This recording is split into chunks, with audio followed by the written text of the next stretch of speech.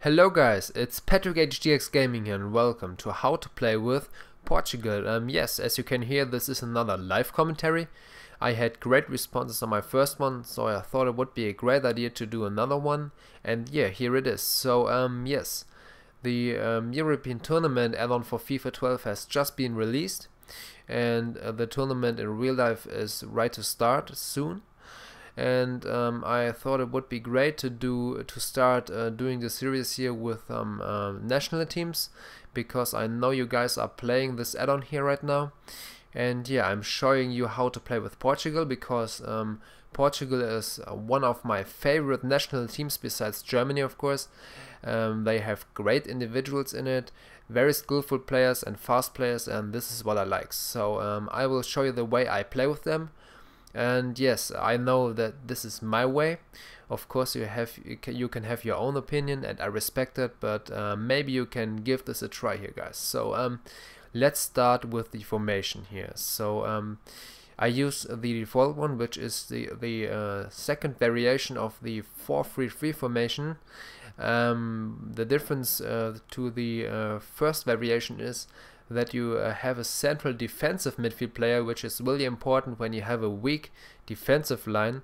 But I will talk about this later, guys. So um, let's check the lineup here. Um, unfortunately, it's in German, but I hope you can uh, read this and you can get uh, what the what the uh, positions are in, in English. So um, yes, we have Patricio on the goal, or however he is pronounced. Uh, the defenders are Pereira, Alves, Pepe and Coentrao. The midfield players are Veloso, Meireles, Moutinho. And the uh, strikers are Nani, Ronaldo and Quaresma. So um, yeah, let's start with the keeper. Um, it's Patricio.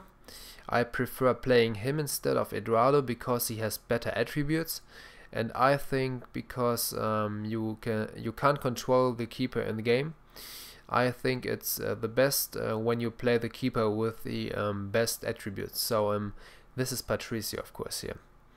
Now we're coming to the defenders. Um, here we have Pereira on the right back position and Coentrao on the left back position. Um, both are very quick and great at crosses, as you can see here. Uh, Pereira has 81 and Coentrao has 83. Um, this is very important as I'm always saying because you can make runs down the wing and cross the ball into the penalty box and your striker maybe converts it.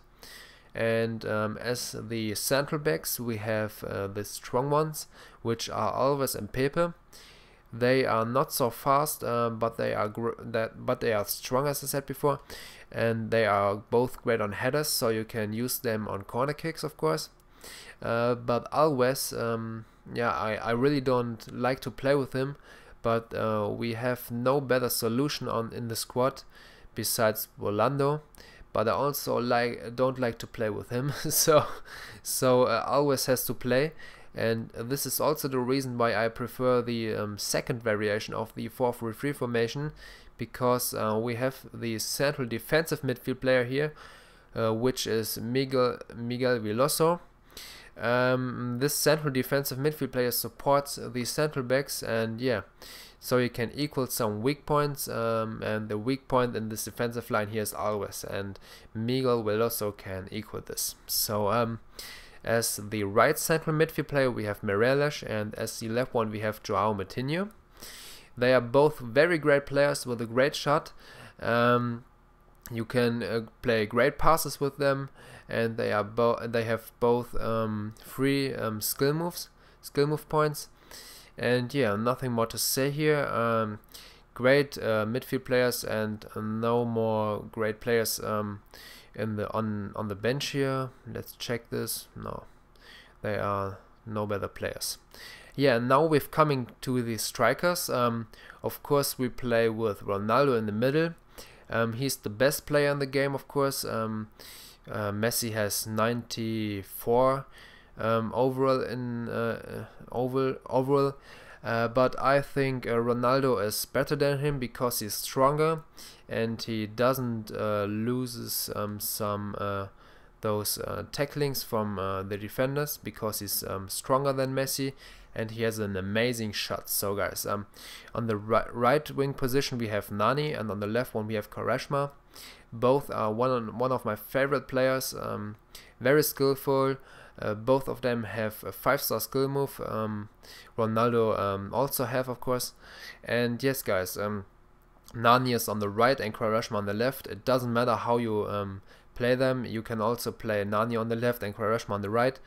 But um, yes, uh, let's check um, their attributes. Um, a great, uh, great ball control from both here. Um, you can dribble very good with them, and they have also um, great cross crossing attributes. Um, Nani is a bit better at crossing, uh, but um, yeah, you should definitely run with them uh, down the wing and cross into the middle because there is um, Cristiano Ronaldo.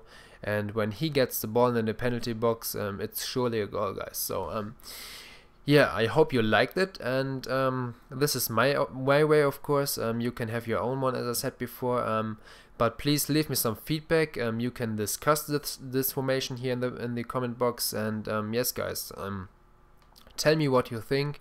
Uh, please give this a like here. Uh, comment about what you think. And if you're not a subscriber already please subscribe me now. Um, there will be more tutorials and um, videos like this here in the future. And I wish you the best fun you can have uh, with the game. And we will see us in the next video guys. So peace